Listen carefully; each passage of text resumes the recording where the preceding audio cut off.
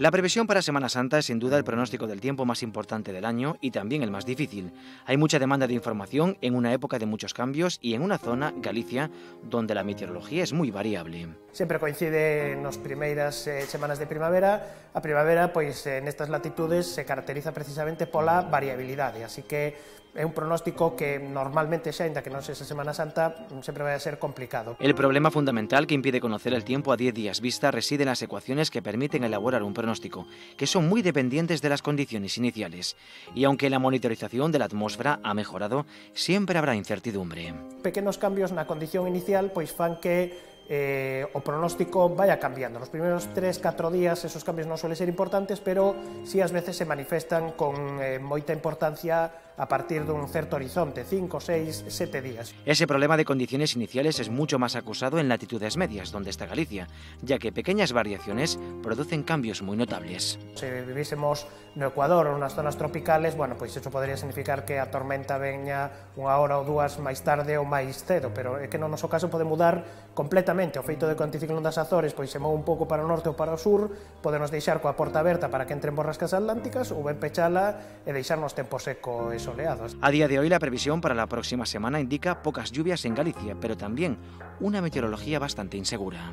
O anticiclón que temos agora, a partir do Benres vaise afastar eh, bastante de Galicia, así que queda, digamos, esa porta entreaberta para que comecemos a notar algunha inestabilidade. Así que, bueno, non se pode decir nada día por día, hai que estar eh, moi pendente dos pronósticos meteorolóxicos, pero tampouco se ven grandes borrascas que nos vayan a afectar. Por lo tanto, bueno, máis probable que teñamos alternativas, diferencias, algún día de chubascos, algunha precipitación intermitente, algún outro día pois de tempo máis tranquilo. Pero aunque la naturaleza nos impone un límite cuando realizamos pronósticos del tiempo no evita que podamos mejorar nuestras herramientas, y la principal es el modelo meteorológico o numérico, una simplificación de la atmósfera que ha evolucionado mucho gracias a la informática. Os modelos meteorolóxicos van mellorando, o último, a pasada semana, o que pasa por ser o mellor modelo do mundo para resolver a dinámica a nivel sinóptica do globo, que é o modelo do Centro Europeo de Pronóstico a medio plazo, pois baixou a súa eh, a, a distancia entre eses puntos de 16 km a 9. Se collemos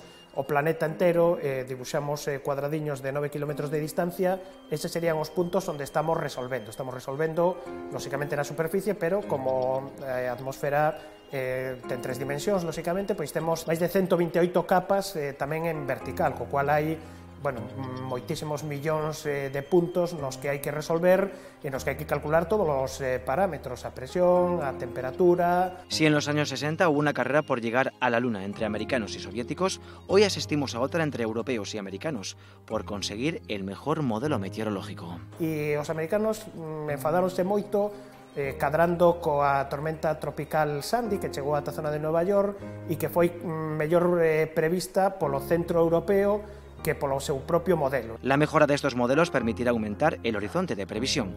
En la actualidad estamos entre 5 y 7 días, pero a este ritmo de desarrollo de conocimiento y tecnología, en dos o tres décadas se llegará a un horizonte de 10 días y, por tanto, en 2050, ante esta misma situación, podríamos pronosticar con bastante seguridad el tiempo que tendríamos el jueves santo.